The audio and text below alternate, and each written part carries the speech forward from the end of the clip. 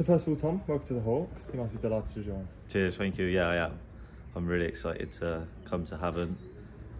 They're a massive club in this league, I would say, one of the top, top teams. So yeah, I'm really happy to be here. And was it that factor that persuaded you to join, or what else was it that sold you? Yeah, it was definitely the club and the quality of players they already had here. The quality of players they've got are very good, especially the attackers from last year. The goals were frightening that they were scoring, and just chatting to the gaffer and the pitch as well. The pitch is one of the best ashers in the league as well. Well, fantastic. For people that don't know who you are, if you just run through your footballing background. Uh, I started off at Bristol Rovers.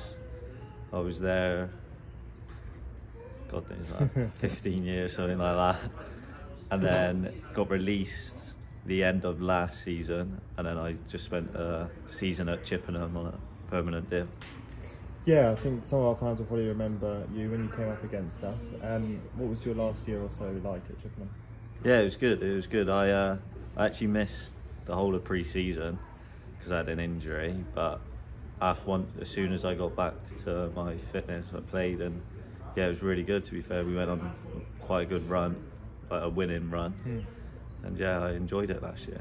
Yeah, I remember. I think unbeaten about 15 games Yeah. or something, and um, it was basically just after I think we travelled down and, and beat Yeah, yeah. and then from there it Yeah, kickstarted. yeah. So joining the Hawks now, what, what's sort of your ambitions for the next year or so?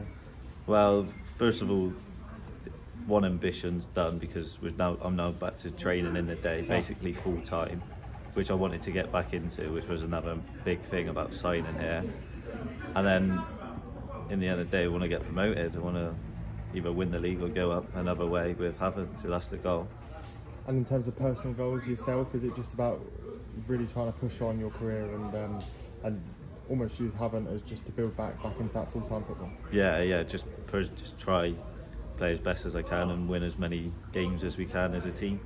Lovely. Well, we look forward to seeing you in pre-season. I'm sure we look forward to meeting all the lads. Yeah, yeah, definitely. Yeah. Congratulations, Tom. Cheers. Thank you.